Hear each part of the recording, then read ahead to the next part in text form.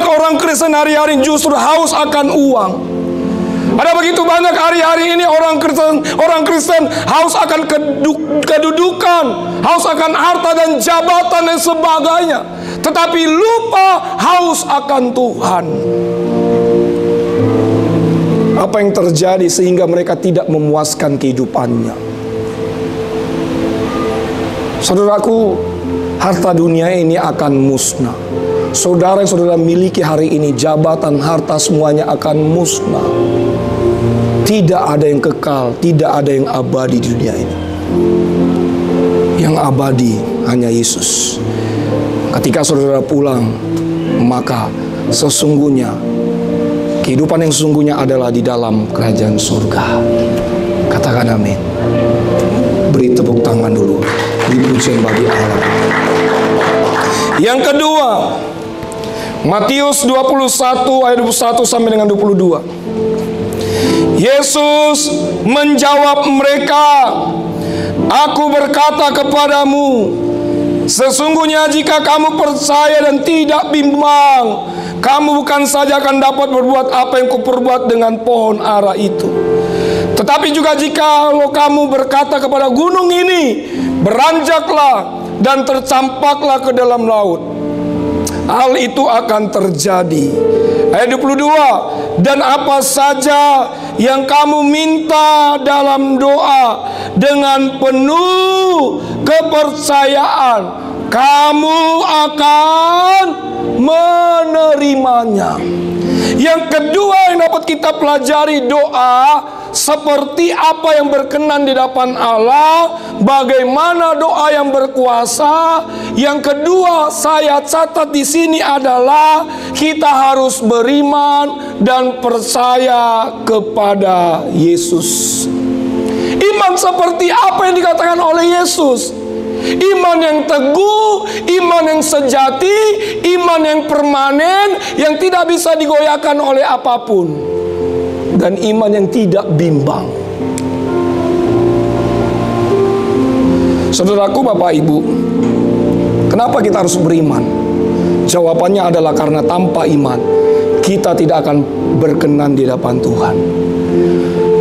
Tanpa beriman, kita tidak akan mengenal Bapa kita. Tapi iman harus dilakukan disertai dengan perbuatan-perbuatan. Iman menghasilkan buah-buah pertobatan, buah-buah roh, ada kasih, sukacita, damai sejahtera, dan lain sebagainya. Saudaraku, Bapak Ibu, dalam Injil Matius pasal 2 tadi, 21, waktu itu Yesus sedang keluar ke kota. Di dalam keadaan kelaparan, dia melihat ada so, ada sebuah pohon ara yang tidak berbuah. Lalu karena dilihatnya pohon ara tidak berbuah, Yesus mengutuk pohon ara itu. Apa yang terjadi? Benar, pohon ara itu pun selama-lamanya tidak berbuah dan mengalami kekeringan. Murid-muridnya tercengang. Murid-muridnya terheran-heran. Murid-muridnya berkata, "Bagaimana mungkin terjadi?" Dan Yesus berkata, "Jika kamu percaya dan tidak bimbang, maka hal itu akan terjadi." Saya yakin dan percaya bahwa Allah yang kita sembah adalah Allah yang sanggup untuk menjawab doa kita. Dia tidak hanya saja mampu menolong kita, tetapi dia rela juga menolong saudara. Katakan amin. Ada satu teolog mengatakan demikian, E.M. Burns, dia bilang begini, slide berikutnya. Terus, hanya Allah yang dapat menggerakkan gunung. Tetapi doa dan iman adalah yang akan menggerakkan hati Allah. Dan kemudian apabila hati Allah sudah tergerak, maka dia akan menyingkirkan setiap gunung-gunung masalah yang menghadang engkau. Sebab itu Bapak Ibu jangan pernah bimbang dalam hidup saudara. Jangan pernah ragu akan Yesus. saudara doakan dan imani indah pada waktunya. Berimanlah. Di dalam Alkitab saudara, memang ada begitu banyak tokoh-tokoh yang punya iman yang luar biasa. Selain Yesus ya ada tokoh iman yang luar biasa. Saudara tahu siapa namanya? Hah? Abraham salah. Nuh salah. Musa salah. Ayo siapa lagi ayo? Sebutkanlah yang punya iman di Alkitab. Yang imannya besar. Siapa? Siapa Pak? Abraham salah. Daud salah. Semua ayo ayo. Yang pintar Alkitab ayo ayo sebut-sebut. Yang memiliki iman yang besar selain Yesus. Ayo siapa? Hah? Siapa? Hamba ya mang. Nabi Adoy tahun. Saudara baca ya dalam Injil Lukas pasal 8 ayat 5 sampai 13. Iman seorang perwira di Kapernaum.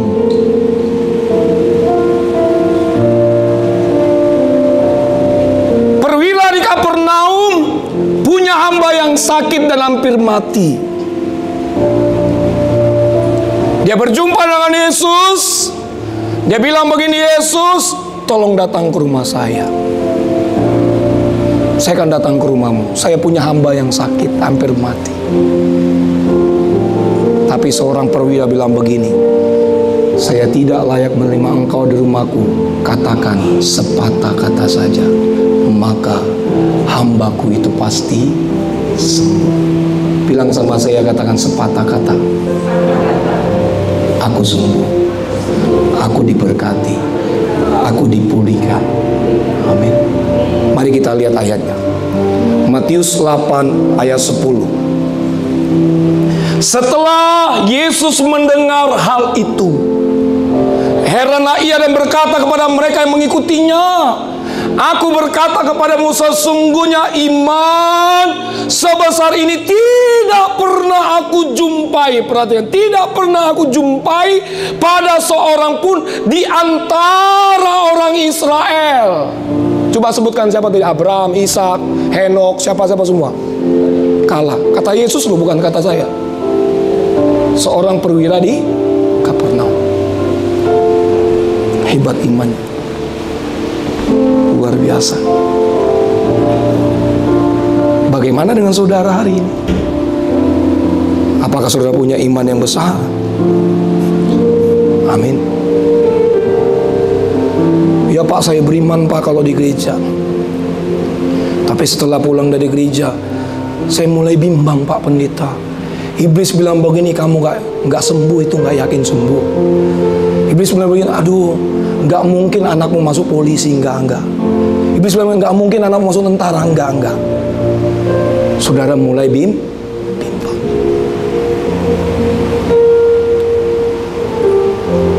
Jangan bimbang Pak. Ada waktunya Tuhan. Semua yang telah kita doakan dan imani percaya kita akan menerima hasil dari iman kita kepada Yesus Kristus tepat pada waktunya teruslah beriman, teruslah percaya, teruslah berharap kepada Yesus Kristus. Iman saudara tidak akan pernah sia-sia. Beri tepuk tangan di pujian bagi Allah. Yang ketiga, Lukas 18 ayat 1. Yesus mengatakan suatu perumpamaan kepada mereka untuk menegaskan bahwa mereka harus selalu berdoa dengan tidak jemu-jemu. Perhatikan dengan tidak jemu-jemu. Bilang sama saya katakan tidak jemu-jemu. Jadi yang ketiga yang dapat kita pelajari bahwa doa yang berkuasa adalah kita harus memiliki ketekunan dalam berdoa.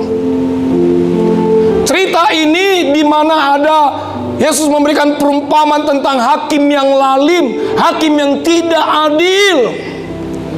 Lalu datang seorang perempuan janda kepada hakim ini untuk meminta pertolongan supaya persoalannya bisa diselesaikan oleh hakim ini. Dia selalu datang kepada hakim ini.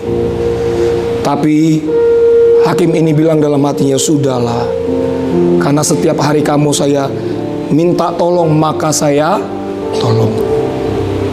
Akhirnya ibu janda ini ditolong oleh hakim ini. Bukankah kita dengan Bapak kita di sorga?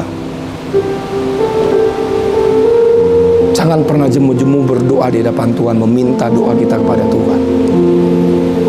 Saudaraku, Bapak, Ibu yang dalam nama Yesus. Yang menjadi pertanyaan kita ini hari ini adalah apa itu ketekunan? Ketekunan dalam bahasa Yunani dikatakan ho pomone, artinya tetap tinggal di bawah, bertahan dalam situasi yang sulit. Lawan dari ketekunan adalah patah semangat. Ketekunan merupakan ciri orang yang dewasa dalam kekristenan. Pak Bu, kalau istri minta sesuatu kepada suami, bilang sama suami saudara, bilang sama istri saudara, sa sabar. Kalau suami minta kepada istri kita sesuatu belum diberi, bilang sa sabar. Tapi kadangkala Bapak Ibu ya kalau kita terus minta, terus minta, terus minta, terus minta, pasti akan diberi. Amin. Iya. Pasti diberi. Pasti diberi. Pak Pendeta kemarin saya minta sama suami supaya punya mobil baru tapi kata suami tunggu dulu. Belum ada hilham belum ada pewahyuan pak. Saudara dengar khotbah ini minta lagi. Amin. Sampai suami saudara pusing nggak bisa tidur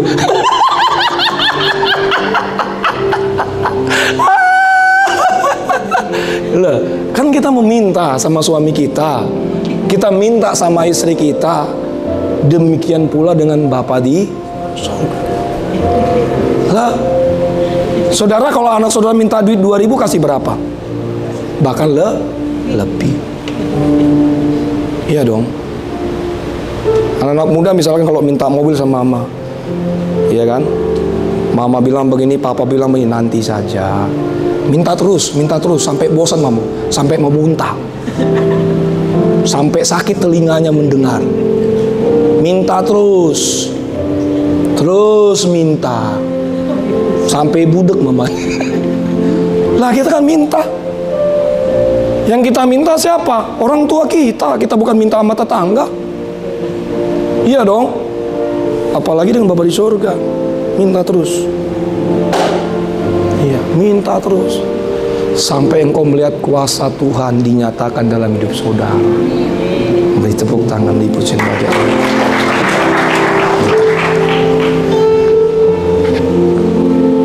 Saudaraku, ada seorang teolog bilang begini, slide berikutnya. Ini sangat keren sekali nih. Terus doa yang didasari dengan ketekunan tidak berusaha menggerakkan hati Tuhan untuk apa yang kita inginkan. Tetapi apa yang Tuhan inginkan bagi kita. Sekali lagi Bapak Ibu.